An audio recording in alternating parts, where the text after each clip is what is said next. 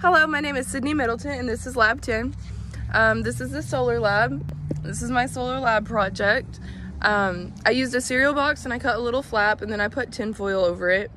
And then I made a little tray for the egg out of tinfoil and then I put plastic wrap over it and now we're gonna sit it in the sun. All right, so first of all, I took a Fruity Pebbles box and I cut a hole in it, making a little flap. And then I put tinfoil on this flap. All right, so next I added tinfoil to the bottom, making a complete reflection. Next I made this little tray to go in it to put the egg in and cook while we are making it. All right, so after we made the tray, I'm gonna put my egg in it and cook it. But first we're gonna put plastic wrap over it to keep the heat inside. All right, and then it's kind of foggy, but this is my egg after 15 minutes. All right, so this is my egg after 30 minutes of being in the sun. You can see the steam, not really cooking still. Don't know how long it'll take.